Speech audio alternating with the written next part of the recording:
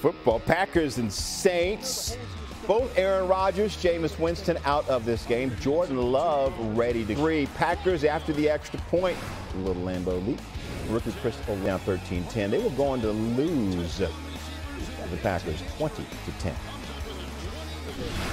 Now, this happened during the game. Aaron Rodgers not playing on the game broadcast, talking up third string QB Danny Etling and his new haircut, and Etling being ready to play. Listen, he was ready with that new haircut, fresh cut, celebrating with him on the bench, rubbing the new dude. Then he's like, don't mess up my hair, man. Packers get the win 20 10. all right, so last night, Mac Jones made his preseason debut for the Patriots. He went four of eight for 61 yards over the course of three drives. Uh, Matt Patricia was sending in the calls, and Jones had some high praise for the Patriots assistant. Here's Pat's reporter, Mike Reiss. Mac Jones is adjusting to a new voice in his helmet. Matt Patricia called the plays on Friday night, and after a rocky start, the two experienced the type of success they hope becomes the norm an 81 yard touchdown drive against Panthers backups. I think Matty's done a great job. Um, he's one of the most brilliant people I've ever been around in terms of football knowledge. He's really starting to get a feel for it. He's very easy to talk to on the sideline, very easy, laid back kind of type coach, but demands a lot, and I respect that about him. And um, hopefully, we can grow for for a long time. A smiling Bill Belichick stopped short of saying the team's offensive play caller is finalized, even as all signs point to Patricia. In Foxborough, Mike Reiss, ESPN.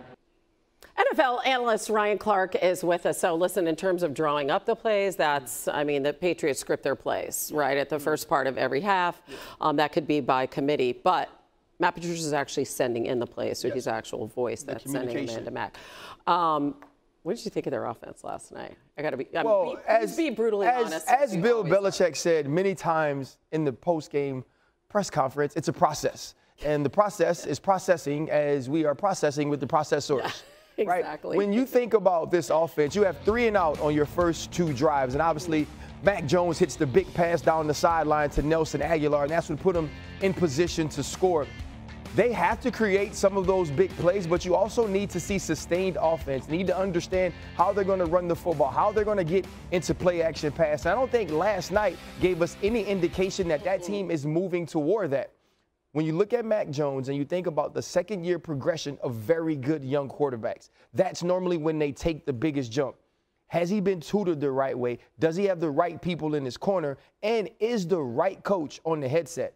As brilliant as Matt Patricia is, we have to remember he was also the head coach that was over the Detroit Lions offense for the last two, for the two years before they hired Dan Campbell, and, and that didn't go so well. And he's a defensive specialist. Yes, and so right. and, and so to me, I understand Bill Belichick is thinking if mm-hmm. you're a great coach, you can coach good football. Mm-hmm. But I do believe that play calling is not only a science, but an art, and it's about feel. And I don't necessarily know if he'll have that feel. Right. Once those scripted plays yes. are done, uh, then we'll see what happens in those kind of game situations. All right, let's talk about your Pittsburgh Steelers. All right, so we have three choices to replace Ben Roethlisberger. We have okay. Mitch Trubisky. We have Mason Rudolph. We have the heralded rookie quarterback. Yes, Kenny Pickett. Um, who do you think gives them the best chance to win this season? You know what? I can be honest. It is still too early for me to tell. I, I, went to practice and I was watching and I was like, well, that doesn't look very good. And then I saw another guy. I was like, well, that doesn't look very good. But I also knew when I spoke with Coach Tomlin that mm-hmm. what happens in the arena, right, in the stadiums in the preseason, weighs so heavily for these quarterbacks. Mitchell Trubisky, a guy that can use his legs. You're going to have some athleticism. Coach Tomlin said he needed that after watching Ben Roethlisberger last year. But then you also have Kenny Pickett, although playing against the JV, did very well. 13 to 15, led two touchdown drives, also the game-winning throw to win the game. And now Kenny Pickett gets varsity reps. I believe here's what happens, Hannah.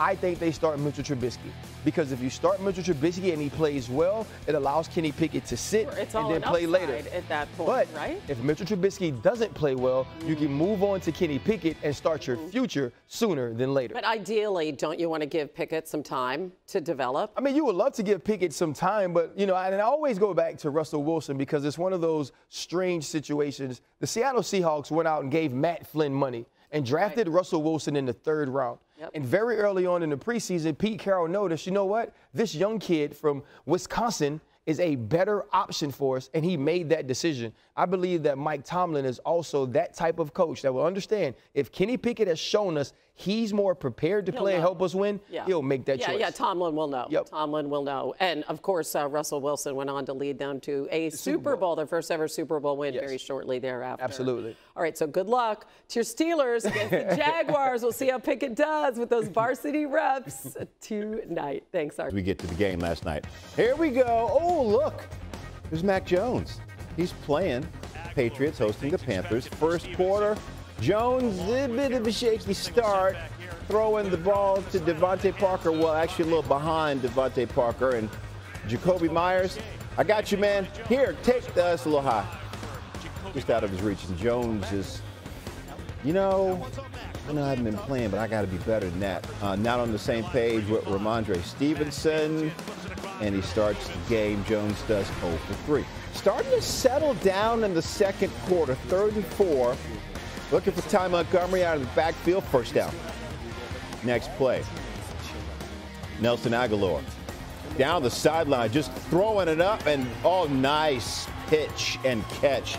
45 yard gain. Puts it where only Nelson can get it. Pats in the red zone. Jones, 4 of 8, 61 yards on three offensive drives later. Montgomery up the middle, score. 7 3 Patriots. And their defense stepped up, Hannah.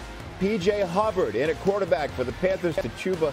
PJ Walker to Chuba Hubbard. He's tackled for a loss, and Walker he's he's he's sacked and, and then he's down again. No Baker Mayfield or Sam Darnold in this one. So how are they supposed to make a decision on that without playing either of them? Well, it just depends on which report you believe. Maybe they already have. Okay. Uh, um, Matt Corral to Stephen Sullivan. Ball knocked out by Joshua Bledsoe. Myles Bryant recovers it.